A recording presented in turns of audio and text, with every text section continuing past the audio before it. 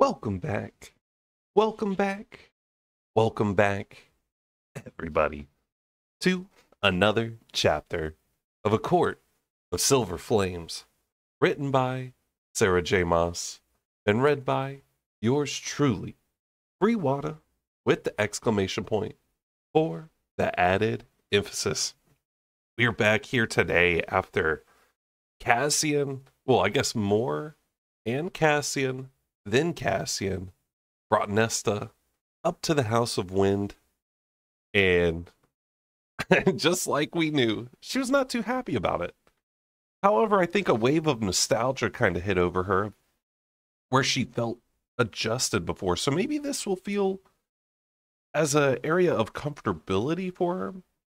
But we did see at the end of the chapter that darkness, that energy, that power that she has kind of roiling in her a little bit. And I was w- actually wondering after I, I can't remember if I said this after the chapter, if that was uh, kind of conducive to us learning that, you know, every night or every other night she was going out to the bar to hook up with someone to release that energy.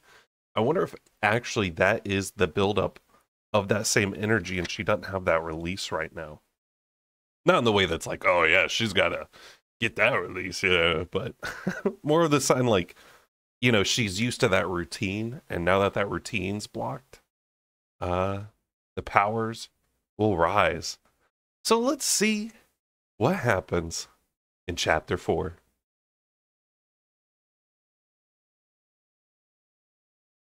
Mor had already commandeered a table at the riverfront cafe, an arm slung across the back of a wrought iron chair, the other elegantly draped over her crossed knees. Cassian halted a few feet from the maze of tables along the walkway, smiling to himself at the sight of her, head tipped toward the sun. Unbound hair gleaming and rippling around her like liquid gold, her full lips curled upward, basking in the light. She never stopped appreciating the sunshine, even 500 years after leaving that veritable prison she'd called home, and the monsters who claimed her as kin, his friend, his sister. Honestly, still savored every moment in the sun. As if the first 17 years of her life spent in the darkness of the hewn city still lurked around her like Az's shadows. Cassian cleared his throat as he approached the table, offering pleasant smiles to the other patrons and people along the walkway who either gawked or waved at him. And by the time he sat, Mor was already smirking, her brown eyes lit with amusement.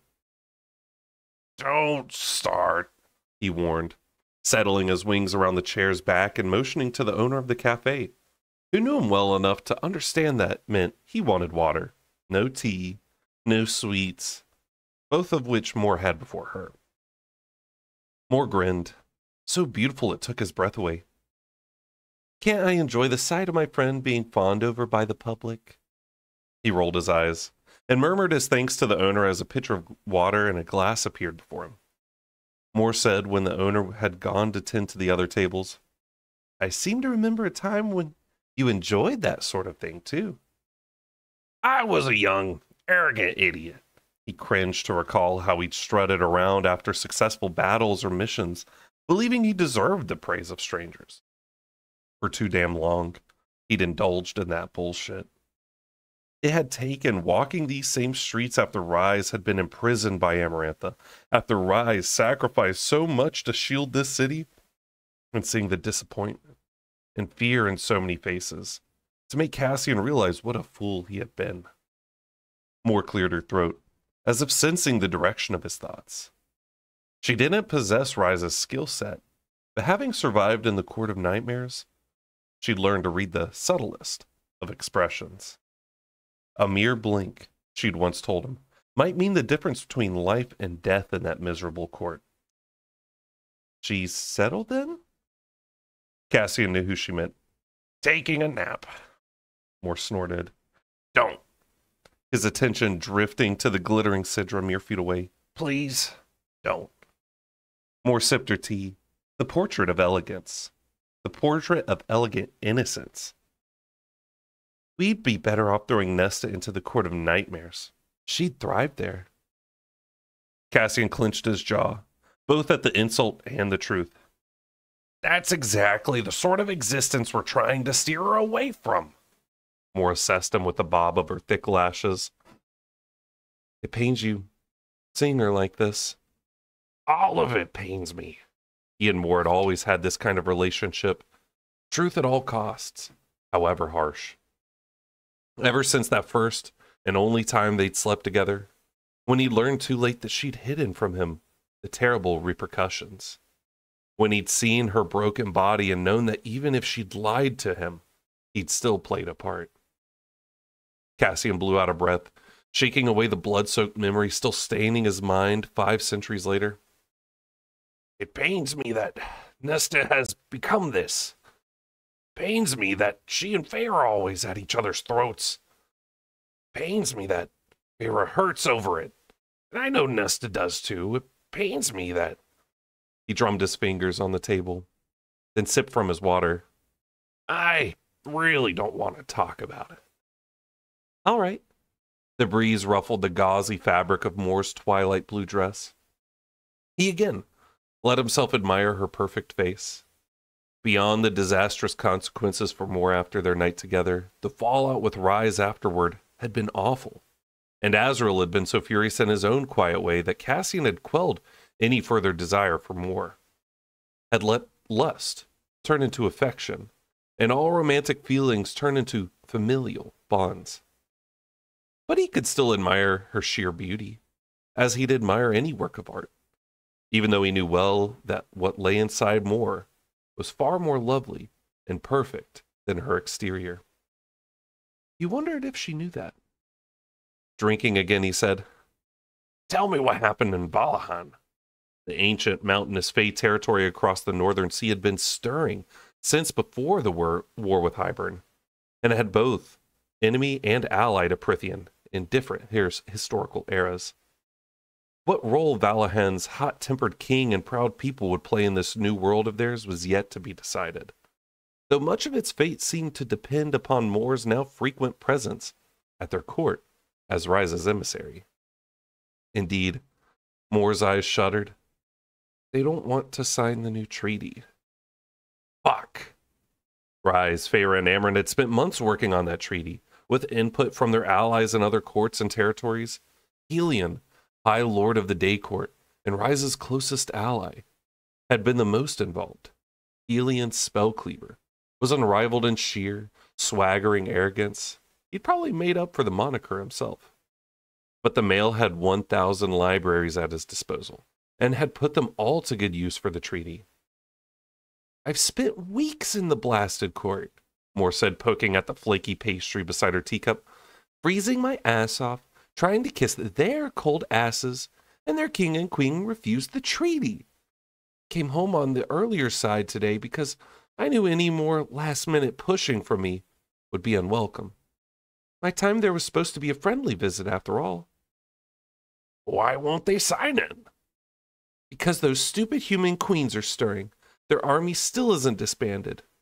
The Queen of Vallahan even asked me what the point of a peace treaty would be when another war, this time against the humans, might redraw the territory lines far below the wall.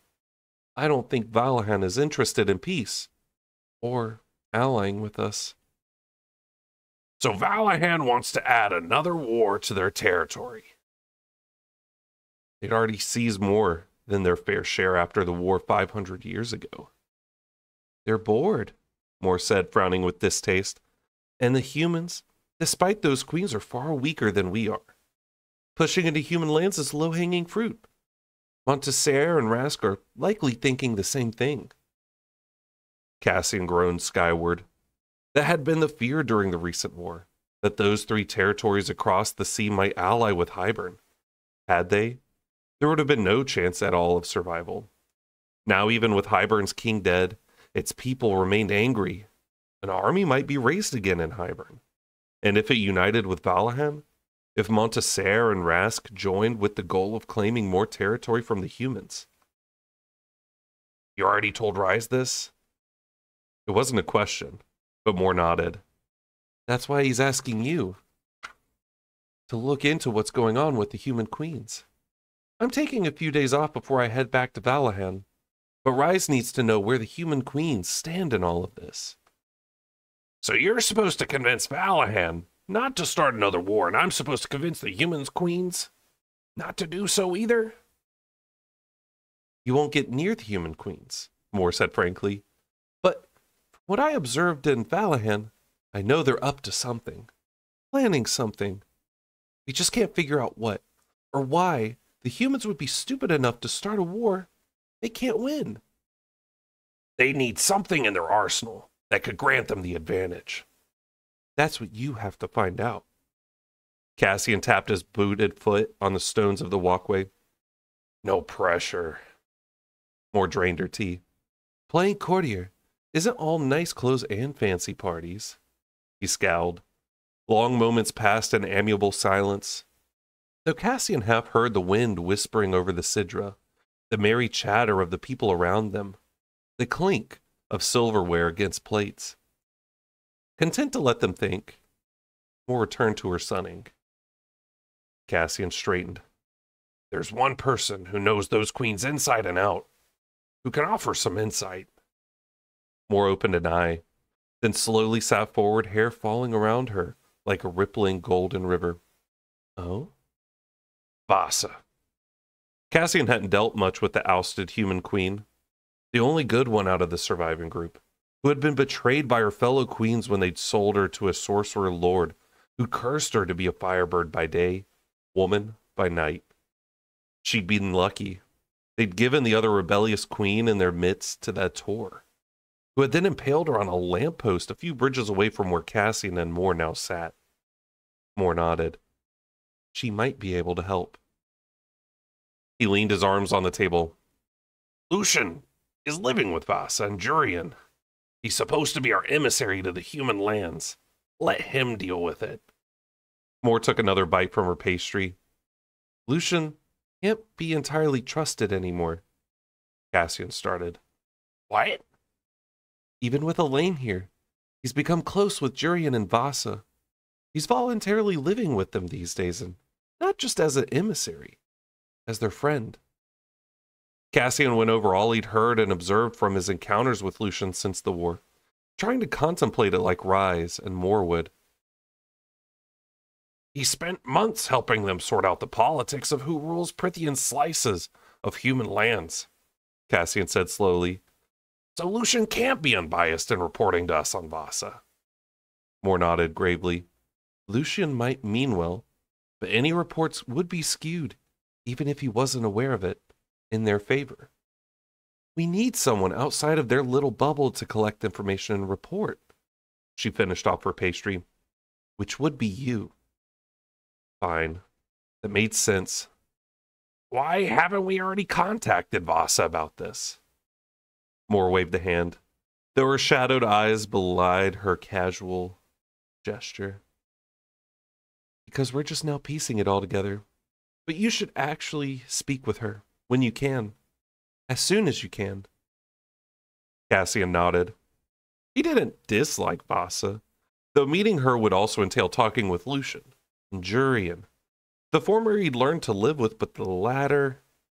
It didn't matter that it turned out that Jurian had been fighting on their side, that the human general who'd been Amarantha's tortured prisoner for five centuries had played Hybern after being rebirthed by the Cauldron, and had helped Cassian and his family win the war.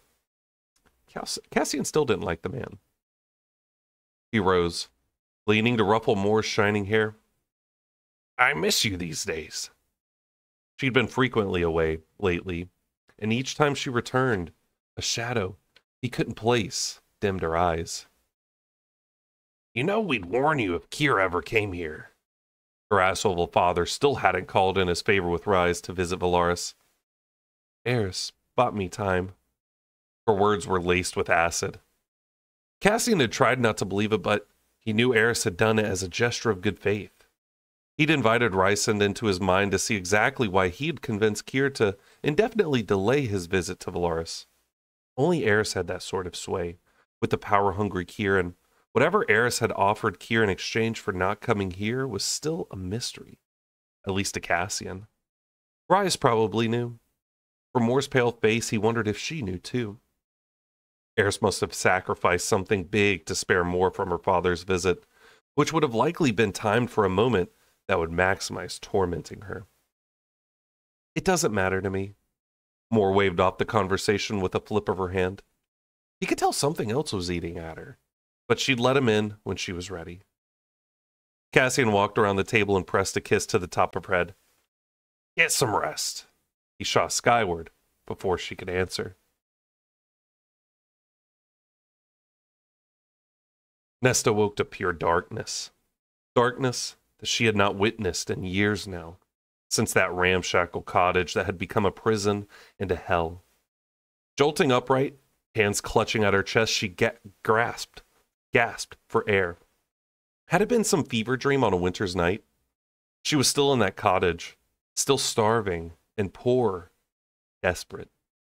No, the air of the room was toasty, and she was the lone person in the bed, not clinging to her sisters for warmth, always squabbling over who got the coveted middle place in the bed on the coldest nights, or the edges on the hottest summer ones. And though she'd become as bony as she'd been during those long winters, this body was new to. Fey, powerful, or it had once been. Scrubbing at her face, Nesta slid from the bed. The floors were wormed, not the icy wooden planks in the cottage. Padding to the window, she drew back the drapes and peered out at the darkened city below. Golden lights shone along the streets, dancing on the twining band of the Sidra. Beyond that, only starlight silvered the lowlands before the cold and empty sea. A scan of the sky revealed nothing regarding how far off dawn might be and a long moment of listening suggested the household remained asleep. All three of them who occupied it. How long had she slept? They'd arrived by 11 in the morning, and she'd fallen asleep soon after that. She'd consumed absolutely nothing all day. Her stomach grumbled. She ignored it, leaning her brow against the cool glass of the window. She let the starlight gently brush her head, her face, her neck, imagined it running its shimmering fingers down her cheek, as her mother had done for her and her alone. My Nesta, Elain shall wed for love and beauty, but you, my cunning little queen, you shall wed for conquest. her mother would thrash in her grave to know that years later, her Nesta had come dangerously close to marrying a weak willed woodcutter son who had sat idly by while his father beat his mother who had put his hands on her when she called things off between them, who had then attempted to take what she hadn't offered. Nesta had tried to forget Thomas. She often found herself wishing the cauldron had ripped those memories away just as it had her humanity. But his face sometimes sullied her dreams, her waking thoughts. Sometimes she could still feel his rough hands pawing at her, bruising her. Sometimes the coppery tang of his blood still coated her tongue. Pulling back from the window, Nesta studied those distant stars again.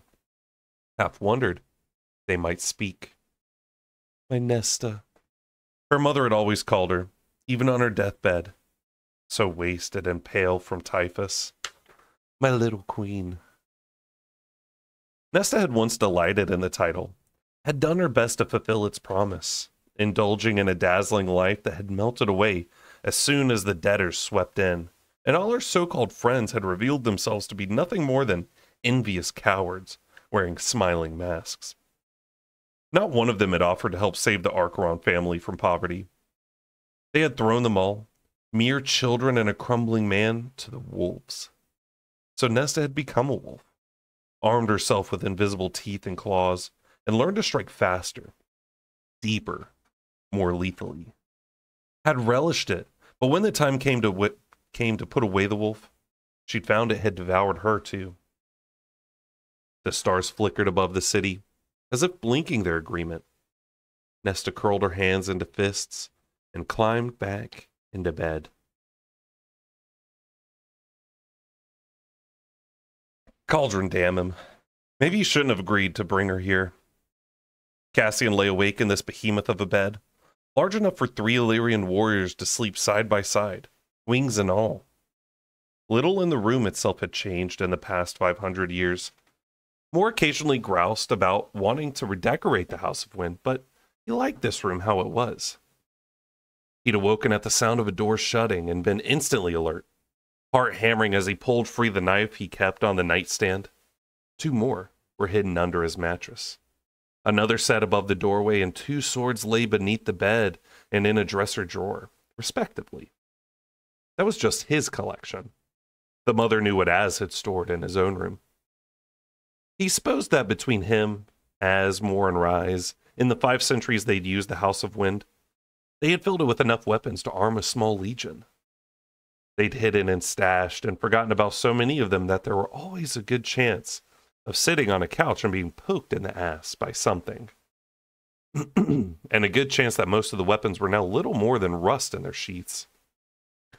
But the ones in this bedroom, those he kept oiled and clean, ready. The knife gleamed in the starlight, his siphons fluttering with red light as his power scanned the hall beyond the door. But no threat emerged. No enemy breaching the new wards. Hybern soldiers had broken through more than a year ago, nearly getting their hands on Feyre and Nest in the library. He hadn't forgotten it. Their terror on Nesta's face as she had raced for him, arms outstretched. The sound in the hall. Azriel. He'd realized a heartbeat later. That he'd heard the door at all told him Az wanted him aware of his return. Hadn't wanted to talk, but had wanted Cassian to know that he was around. Excuse me. Which had left Cassian here, staring at the ceiling, his siphon slumbering once more, knife again sheathed and set on the nightstand. From the star's position, he knew it was past three. Dawn was still far off. He should get some sleep. Tomorrow would be hard enough. As if his silent plea had gone out into the world, a smooth male vo- voice purred into his mind. Why are you up so late? Cassian scanned the sky beyond the wall of windows as if he'd see Rise flying there. my apologies, y'all, my voice. I have the same question for you. Rise chuckled. I told you. I had some apologizing to do with my mate. A long, wicked pause. We're taking a break. Cassian laughed. Let the poor female sleep. She was the one who initiated this round. Pure male satisfaction edged every word. You still didn't answer my question. Why are you snooping on me at this hour? I wanted to make sure all is well. It's not my fault you were already up. Cassian let out a soft groan. It's fine. Nesta went to sleep right after we got here and stayed in bed. I'm assuming she's still asleep. You got there before 11. I know. It's 3:15 in the morning. I know. The silence was pointed enough that Cassian added, "Don't butt in." I wouldn't dream of it. Cassian didn't particularly want to have this conversation. Not at 3 in the morning and certainly not twice in one day. I'll check in tomorrow night an update on the first lesson. Rise's pause was again too pointed to ignore, but his brother said, Mor will bring you up to Windhaven. Good night, Cass. The dark presence in his mind faded, leaving him hollow and chilled. Tomorrow would be a battlefield unlike any other he'd walked into. Cassian wondered how much of him would be left intact by the end of it. And that, my friends, was the end of chapter four. Of course, my asthma would decide to rear its head right at the end. I was like, "Oh no, the the the little bit of breathing I get going along with it. If it and if any y'all don't know, I do yeah, I do suffer from like acute asthma. Kind of been that way all my life as a kid. I was on like a little neb one of those little nebulizers, so after I played like soccer practice or something like that, I'd usually be on it. And through most of my life it's been pretty good, but you know, allergies and stuff will kick it up, so especially in this morning, especially during the springtime, uh, it kicked up a little bit. I tried to take some allergy medicine to help supplement, but you know, it only goes so far. but I'm gonna get ready to go take a puff of an inhaler real quick. Uh, so yeah, that's it. I'm very excited to see how this first training goes. I was wondering if we were gonna get it today, but I was like, I think that would be too quick of a time skip from over the night, you know, especially since we're the night court. Stuff happens at night. So y'all, Make sure to stay beautiful, stay hydrated, and we will see you in the next chapter.